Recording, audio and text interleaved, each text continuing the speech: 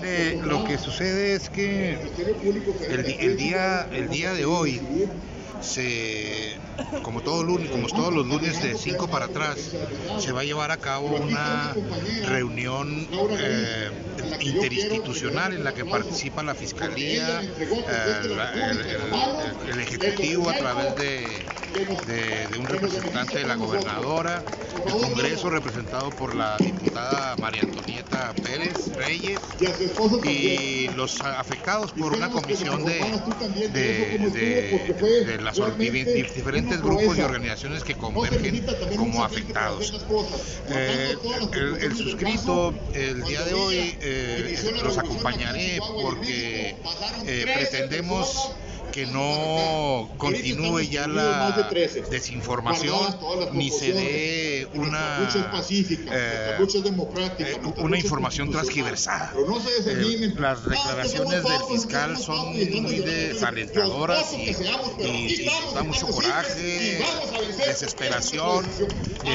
toda esa toda esa declaración de que no se va a poder judicializar y que es muy difícil,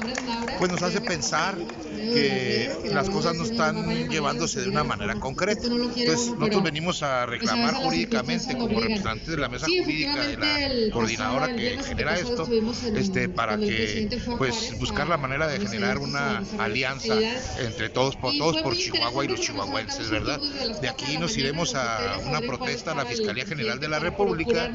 porque a las 2 de la tarde tenemos una audiencia de control judicial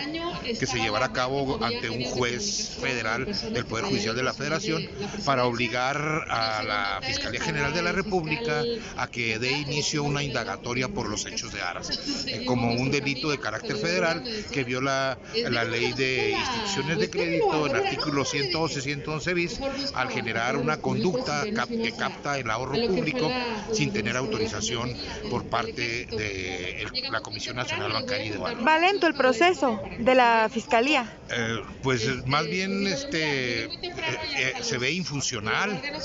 no se ve con resultados. Sabemos de la secrecía, de que, las indagatorias siguen una secrecía, pero eh, definitivamente es mucho tiempo para poder integrar